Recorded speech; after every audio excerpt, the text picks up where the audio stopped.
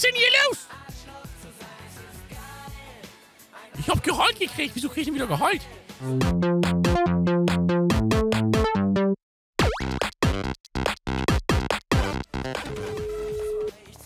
Ja, Hallo, hol mich mal ab. wo soll ich dich abholen? Bei Hans am Haus. Bei, ah, Nicht ah, komm hier. ich wurde gerade umgefahren, ich bin... Das ist nicht mein Problem. Lebst du noch? Ja, Gut, dann beweg deinen Arsch hierher. kann ich nicht. Ist nicht mein Problem. Ja, Hallo, holst du mich mal bei Hans ab? bei Hohns. Bei Hans? Achso, ein Aki Ja. ist tot. Was? Ja, ich hab gerade mit ihm telefoniert, der wurde währenddessen umgefahren. Von wem? Weiß ich nicht. Der hat nur gesagt, äh, er konnte mich deswegen nicht herfahren, weil er fast am Sterben war, die faule Sau. Ja, ich hol dich gleich ab. Gib mir Ja, eine Sekunde, ja? Abmarsch jetzt hier, ich warte hier schon. Ja, hab ich lieb bis gleich, tu. Der Server ist down. Wo bleibst du denn? Na, ich bin doch schon quasi da. Wo, wann, wo, wie, wann, wo da? Ja, ja, jetzt hier gleich, pass auf. Pass Ich, auf, ich pass pass auf. auf. Ja, pass gut auf. Halt dich fest, pass auf. Ich halt pass mich auf. fest. Halt dich fest, halt dich fest. Ich halte mich... auf. fe- Ja? Hier ist er. Wo? Links neben dir. Oh nee. Oh nee. Warum muss der auch 8 Millionen Autos hier stehen haben, die Sau? Weiß ich doch nicht. Vielleicht läufst du einfach mal hier so 100 Meter weiter. Hast du schon. Ja, Aber schau ich. gehst, du, gehst du auf eine Beerdigung oder was? Äh, Ach, wo willst du denn hin?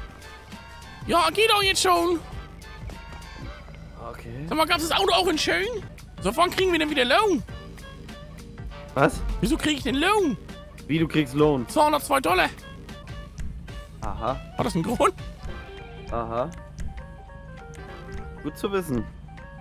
Achso, wusstest du das nicht? Nee, ich wusste das nicht. Ich Entschuldigung. nämlich auch keinen. Achso, ich krieg Lohn. Aber ich habe auch was für dich. Hier ist hier vor der. Gut, das werde ich mir merken. Hier kann ich doch nichts für. Ja, Ich habe das nicht eingestellt. ja, ja. Würde ich jetzt auch sagen. Wie würde ich jetzt auch sagen? Ja, das würde ich jetzt auch sagen. Ein kleines. Was macht Welches? der Knopf? Entschuldigung. Kannst du auch fahren und telefonieren? Kannst du mal die Schnauze halten, du alter Sack? Was denn? Du hast deine Motorhaube verloren. Du verlierst gleich was ganz anderes. Mein Gebiss habe ich schon verloren. Vielleicht auch dein Augenlicht. Was? Ja, ich weiß nicht. Wie sieht's aus mit der Firma? Läuft gut? Weiß ich nicht. Wieso? Ja. Sag mal dein, dein, dein. Was hat er gemacht?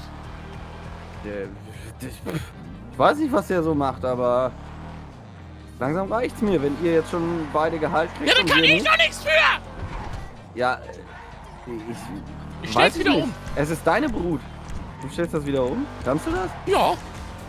Ich krieg wieder keinen Lohn. Also ich wäre dafür, dass Hans keinen Lohn mehr kriegt. Ja, ich kann ihn ja nicht. Also ich kann schon. Kann ihn ja rausschmeißen. Als Inhaber, wenn du willst. Ja, da wäre ich dafür. Nee, kann ich nicht. Der hat ja mal. Ich mach dir so schlechte Arbeit oder was ist los? Weißt du, was das Problem ist? Dass er mir immer nur die Hälfte erzählt. Ja, mir ja anscheinend auch. Ja, dass er Termine macht und dann nicht da ist, schmeiß ihn raus. Kann ich nicht. Wegen dem Dann- Vertrag. Schmeiß ihn. Was für ein Vertrag? Ich habe mir noch die 50-50 gegeben von der Firma.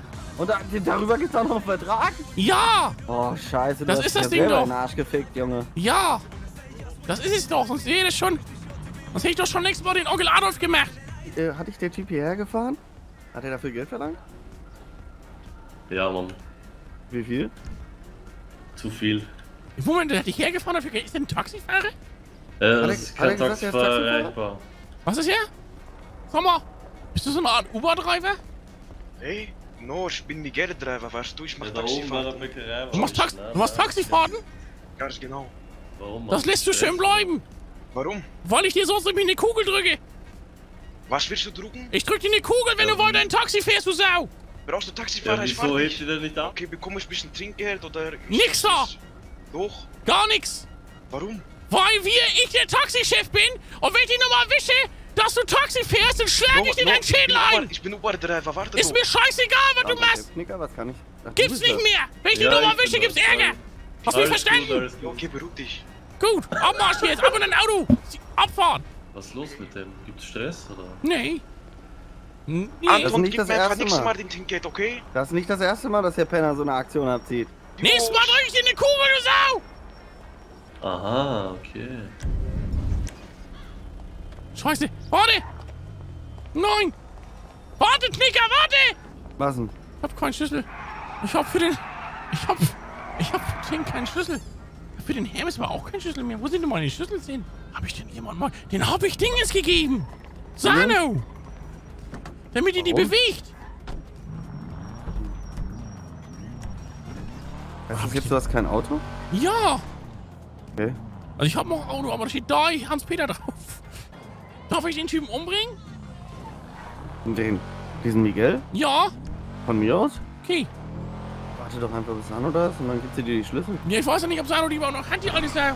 Na klar, warum sollte sie den nicht mehr haben? Wer weiß, wo die die hingesteckt hat. Das ist da unten ja auch wieder Grand Canyon. Hallo? Schlüssel! Schlüssel! Hallo? Das ist ja, weißt du, das ist wie eine Bockwurst in der Turnhalle. Aber Erich, Ja? nicht wieder mit Scheiße nach irgendwen werfen. Nein, alles gut. Mhm. Äh, ich soll mit den Hühnchen rupfen. Warum? Von deinem Sohn. Was will er? Ich habe schon vergessen, warum, aber der meinte irgendwie, was, äh, dass ich mal mit dir reden soll, weil du immer verwirrter wirst. Und, äh, immer mehr Mist baust. Quatsch. Ich verstehe gar nicht, was er meint. Ich weiß auch nicht, was er meint. Ich bin einer der, ich bin einer der ruhigsten Menschen dieses Staates. Eben. Mit mir kann man sich immer unterhalten. Ja, so ruhig, dass man sie bis hierhin hört, oder was? Ja, als Maul! Das meinen Sie jetzt nicht ganz ernsthaft, oder? Ich mach mir die gleich das, was ich mit Brosch gemacht habe. Ich hab ihm eine Windel ins Gesicht geschmissen. Ja, Eine das volle, aber oder? nicht an uns Ja. dann, weil sonst wandert er wieder ins tragen. Sie Vorlage? Erich. Ja, ja, ja. Sind Sie das? Ja.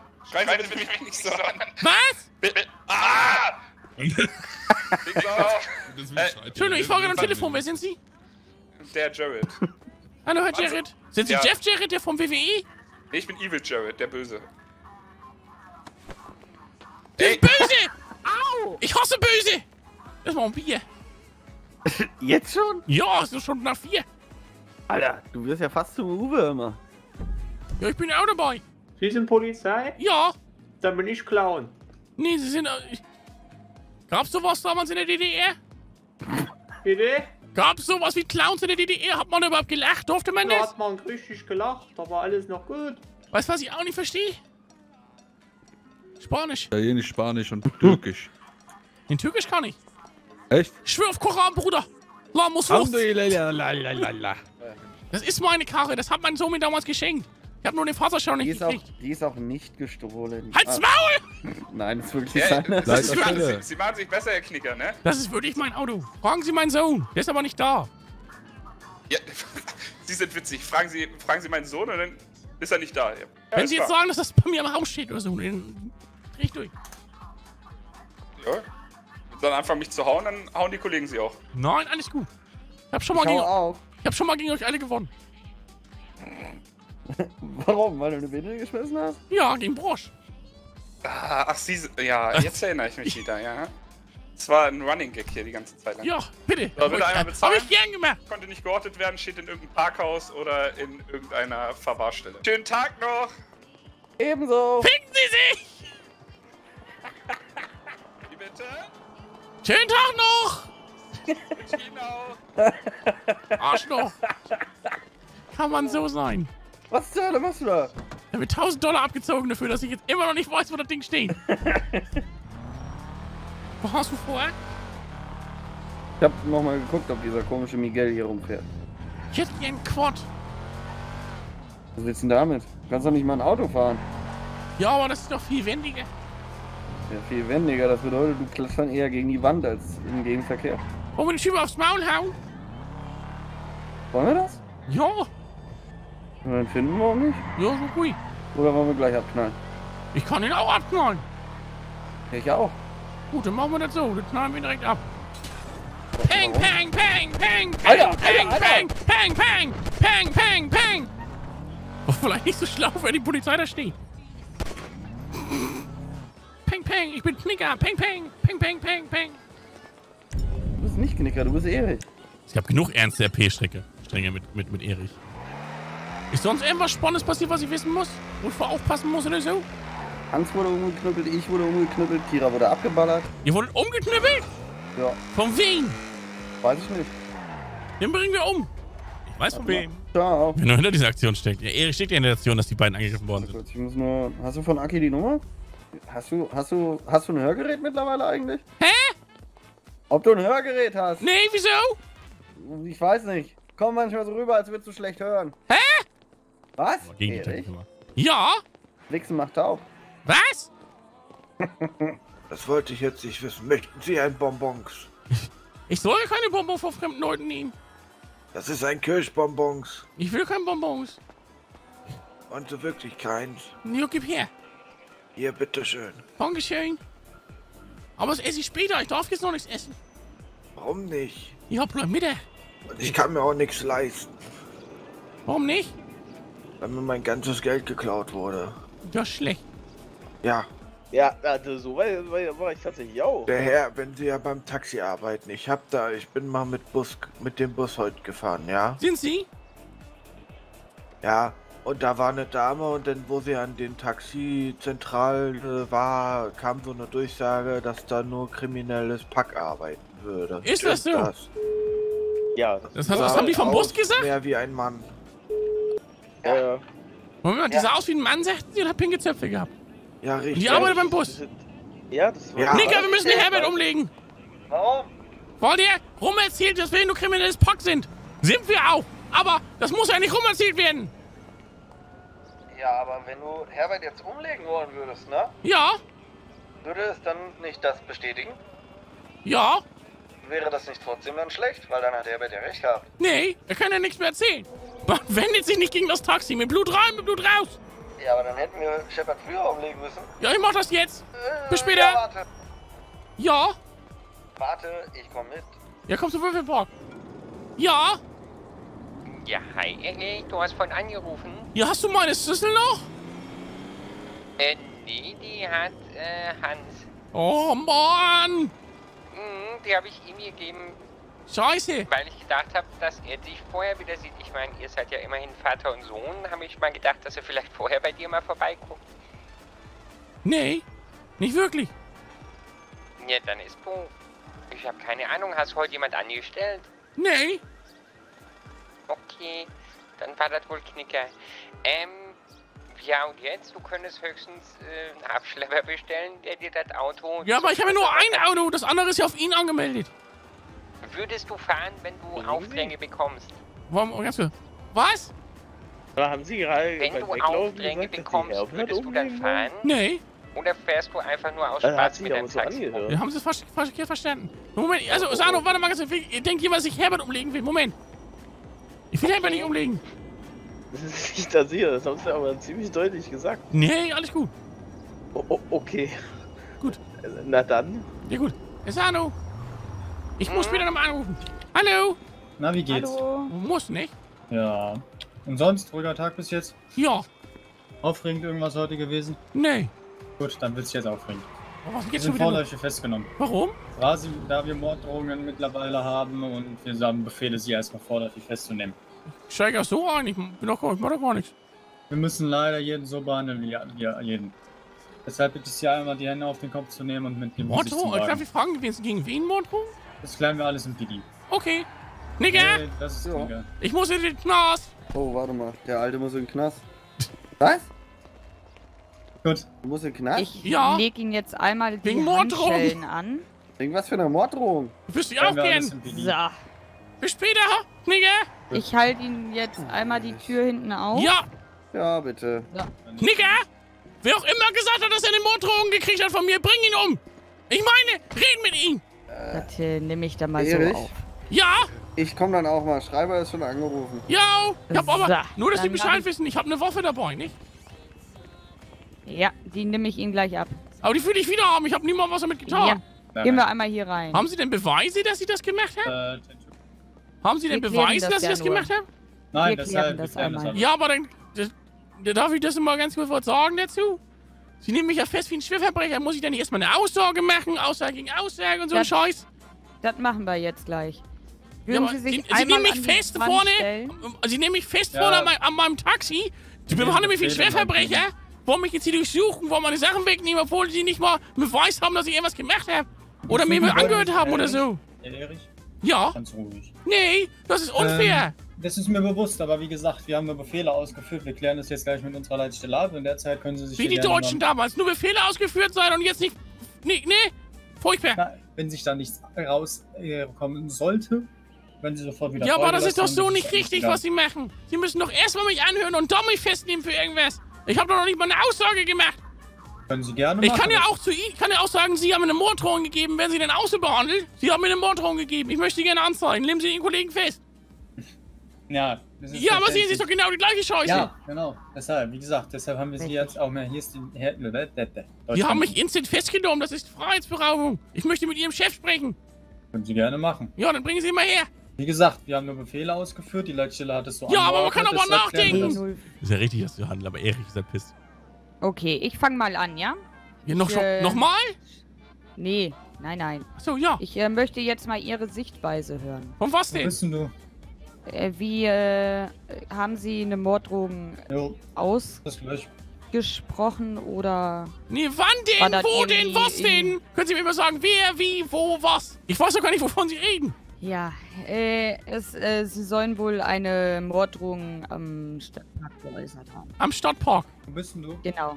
Gegen wen? Da muss ich gleich mal kurz einmal meinen Kollegen nachfragen. Der Hallo? Kollege kommt gleich, der das äh, irgendwie aufgenommen hat, äh, der das gesagt hat, dass wir sie festnehmen sollen. Ähm, mein Chef kommt auch soweit. Ja. Gesagt, Wir können sie auch gerne vorerst nochmal rausholen. Wie gesagt, sie sind vor. Sie sind nicht Ja, aber Sie, doch, Sie haben mich ja festgenommen. Sie haben mich durchsucht, Sie haben mich in Fesseln gelegt und haben mich am Stadtpark Nee, mitgenommen. nee, nee, Hätten nee, Sie nee, gesagt, Sie... ich Sie Nein, nein, nein, nein, nein. Hätten Sie mich gesagt, kommen Sie mal bitte mit ins PD, wäre ich ja mitgekommen. Das wäre für eine Aussage gewesen. Sie haben mich festgesetzt. Sie haben mich festgenommen. Ja, auf Befehl fe äh, setzen sie Herrn Erich fest und. Ja, haben Sie den Haftbefehl? Haben Sie denn irgendwas vorliegen gegen mich? Haben Sie handfeste Beweise? Nein. Nö, aber Da sehen wir, Sie. Haben, wir haben das Recht, nachdem wir. Oh, fuck. Gut, wir kommen gleich. Äh, ja, kommen Sie mit, Ja, Herr viel Erich. Spaß. Komm, kommen Sie mit, dann können wir das oben klären. Das ist sinnlos hier oben unten. Ach nee, sag bloß. Jetzt mit. steht mein Taxi da und es ist nichts ist los da. Ist aber abgeschlossen, oder? Ja, aber ich hätte auch, auch hierher fahren können. Äh. Ja, wenn ich eine Aussage machen soll, ist doch gar kein Problem. Dann sagt doch Herr Erich, da liegt was gegen Sie vor, wir müssen mit Ihnen reden. Ich sage, alles klar, ich komme vorbei. Aber so, nehmen Sie mich fest da vorne. Die Leute denken alle, ich bin Schwerverbrecher. Wenn ich hier eine Aussage machen soll, ist ja gar kein Problem. Aber warum kommen die da an und nehmen mich direkt fest wie ein Schwerverbrecher und lesen mir Rechte vor und alles sowas? Weil sie, weil sie am Würfelpark, wir wurden gerade angerufen, weil sie am Würfelpark Morddrohungen gegen, den, gegen das Busunternehmen ausgesprochen haben. Bullshit, ich habe mit, hab mit. Knicker telefoniert. Genau, und sie haben, sie haben da lautstark rumposaunt. Mich haben zwei Leute angerufen, dass gerade der Mann mit dem schwarzen Anzug warte und der lauten Stimme am Würfelpark Morddrohungen gegen einen Mitarbeiter des Busunternehmens äußert. Ge- Da wir uns Sorgen gemacht haben, dass sie jetzt gleich jemanden. Warum soll ich denn jemanden umbringen vom Busunternehmen? Weiß ich nicht. Das ist kann Shepard. sie uns erklären? Natürlich. Zwei Personen anrufen Ja. und mir unter, unabhängig voneinander berichten, Ja. dass gerade lautstark Morddrohungen von ihnen geäußert wurden. Ja, aber jetzt stellen Sie mal vor, Sie fest. das war auch erstmal eine Alte, die wurde nicht mehr lange gebumst. Die hat nämlich ganz schön der Scheiße gelabert die ganze Zeit. Stell dir mal vor, die ruft sie an, weil sie auf mich sauer ist. Jetzt rufen ich und der Knigge an und sagen, dass ihr Kollege hier rechts von Ihnen gegen uns Morddruck ausgesprochen hat. Nehmen Sie den denn auch so fest? Nein, Sie reden jetzt mit Ihnen und fragen ihn danach. Ja, alles ein riesen Missverständnis. Das ist es halt genauso. Das ist halt auch so. Ja, wie gesagt, tut mir leid, Herr Ist ja auch nicht schlimm. Ich erkläre es ja auch mit Ihrer Leitstelle gerade. Alles gut. Ich, möcht, ich wollte ganz gern, dass sie festgesetzt werden, weil ich nicht wusste, wie viel Ja, Gefahr von ihnen ausgeht. Gar keine. Hallo, Herr Hauser. Sind Sie Herr Hauser? Bahnhauser. Wennhauser, ja. Wenn Hauser, hallo. Ach, keine Entschuldigung. Hallo. Kann und ich hier kurz mit Ihnen reden? Unter Ja. vier Augen bitte. Servus. Also, es gab anscheinend einen Anruf hier, dass ich angeblich eine Morddrohung gegen Herrn gegen Busunternehmen machen würde. Ja. Das ist aber ein Missverständnis. Das Ding ist aber, die Darsteller sagt wohl, ja, ich sollte herkommen zum Gespräch. Die Kollegen fahren da an, nehmen mich fest mit Handschellen, allem drum und dran, behandeln mich wie ein Schwerverbrecher, durchsuchen mich, lesen mir Rechte vor und packen mich unter die Zelle. Anstatt die sagen, Herr Erich, wir müssen mal mit Ihnen reden. Sie haben doch die Telefonnummer von uns, von Taxifirma. Ja, ist richtig. ja, warum? Jetzt stehe ich da, musste hier meinen Kollegen anrufen, weil der auch nicht wusste, was abgeht. Unser Anwalt wurde angeschaltet. Wir können jetzt keine Taxifahrten machen, wir mussten gerade drei Leute wegschicken. Ich hätte keinen Schadensersatz dafür. Da müssen Sie da einen schriftlichen Antrag für stellen, Herr Das werde ich machen. Aber, Die hätten wir auch sagen können, ja, kommen Sie mal bitte ins PD. Ich sag, ja, alles klar. Das kann ich mir auch mal von meinen Kollegen anhören. Ich höre es ja jetzt erstmal nur von Ihnen. Ich Ja, ja, möchte klar, aber natürlich. erstmal beide Seiten anhören. Natürlich. An sich, an sich, wenn man nur eine Aussage von Ihnen wollte, ist es natürlich nicht das normale Prozedere, dass man den Handfest hinlegt und mitnimmt. Und Wenn Rechte vorliest und in Zettel Verdacht- steckt. Ja, wenn der Verdacht aber tatsächlich äh, handfest bestehen sollte, dass sie eine Straftat begangen haben könnten, dann haben wir das Recht, sie so Natürlich, das ist ja auch- das ist ja auch völlig verständlich. die Sache einmal zu klären. Aber die Leitstelle sagt doch gerade selber, dass es nur so, dass es nur eine Aussage machen sollte. Und jetzt stehe ich hier. Ohne Auto, ohne Kunden, durchsucht, Rechte vorgelesen. Meine Hände tun weh von den Handschellen. Super. Verklagt die Scheiße aus den raus. Guti, dann noch einen angenehmen Tag, ne? Ja, gleichfalls. Danke. Ich klag denn jetzt die Scheiße aus dem Leib. Wem? Die Polizei. Geh zum Medic und lass mir was ausstellen für meine Hände. Die tun mir voll weh die Handschellen. Und dann, die, und dann den Ruf und alles. Ich, Ich habe der klag die Leitstelle erzählt, dass du mal was mit Shepard hattest. Du bist eine Fotze. Und ich hab dir gesagt, dass du mit Kugeldrücken was anderes meintest. Du, wie kann man so sein? Fahr mich zu meinem Taxi. Bist du jetzt schon ausgelaugt von dem bisschen? Wie sollst du dann noch mit Shepard pimpern? Fick dich! Nee? Doch. Äh, ernsthafte Frage, wenn du jetzt schon...